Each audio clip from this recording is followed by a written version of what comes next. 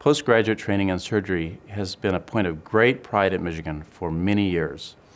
Our residencies, which include general surgery, vascular surgery, thoracic surgery, and plastic surgery, attract talented people from across the United States and have produced some of the most important surgeons in this country. Clinical training is the bedrock of our residencies and will remain our number one priority. But many of our trainees are also attracted to the incredible research opportunities of the University of Michigan. And the fact is that winning federal support for resident research endangers this important opportunity. We're excited to initiate the Resident Research Endowment fundraising initiative. It's received incredible support. The Department of Surgery has contributed $6 million as seed funds for this effort. The faculty of the department, who know firsthand the importance of resident research, have pledged $300,000 a year for each of the next 10 years to this effort. The remaining funds to come from alumni, grateful patients, and community leaders. Ultimately, this is about our residents. This is about their futures.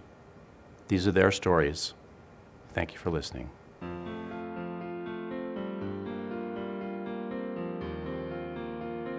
Uh, during the research time, I studied the changing environment in the small bowel in regards to how the bacteria that normally live inside our small bowel uh, is affected by and affects inflammation in the gut uh, and surgical disease that it, it may uh, pertain to. Inflammation in the small bowel actually affects the whole patient and so what I hope to tease out is to figure how we can affect the bacterial populations during the, the uh, perioperative period, which may end up eventually decreasing the amount of complications that we see with surgeries inside the, inside the abdomen and particularly pertaining to the small, small gut. The two years that we get basically gives us a chance to, to step away from our, our clinical experience, which had been fantastic up until that point. But, but what this did was, was give us a chance to really focus on a problem that we learned to understand during our first three years of clinical medicine. Um, it gave us the opportunity to focus on an area that became uh, an area of interest to, to me. And it gave us, again, that opportunity to research it more and get some early expertise in the field.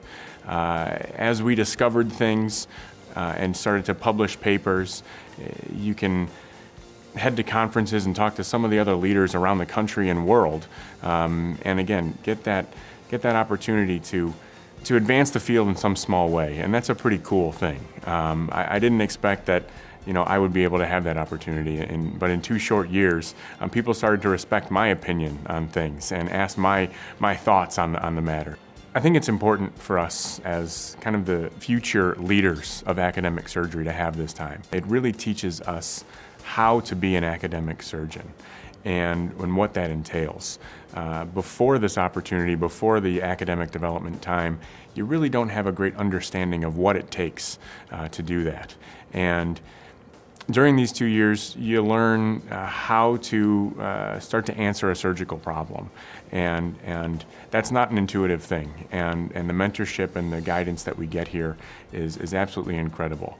And so it is important for us to have this time um, to, to, again, um, be able to advance the field in, in whatever drives that individual. So it's a fantastic opportunity.